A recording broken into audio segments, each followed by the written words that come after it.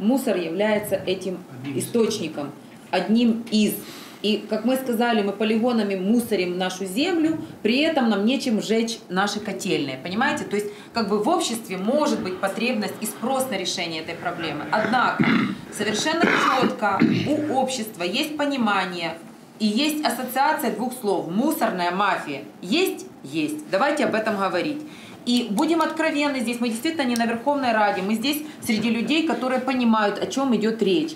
И для того, чтобы депутат политический имел, э, понимаете, имел вот Моральное право. моральное право выступать с этим вопросом как с национальной идеей, он должен понимать, что 1742 или 1742-1 не стоит вот за тем вот лобби, которое хочет решить просто свою проблему, а что это есть вот та национальная идея, которая действительно в интересах каждого, и бизнесмена, и потребителя, и общества, и всех, понимаете? Вот это, в, это, в этом и политики и обращаются к вам, давайте я скажу теперь, не вы должны, а обращаются к вам с просьбой найти решения сбалансированные для интереса всего общества. Вот с чем. Знаете, меня в этом всем смущает, что мы, вы, вместо того, что мы, понимаете, Ну, вот во всем, так, не, ну, знаете, во всем этом, да, когда мы начинаем делиться там хороших, плохих, а мы политики, вы там, Ну, не, ну я к ч- чему говорю, знаете, Алена это такое согласилась. тонко, но метко, да,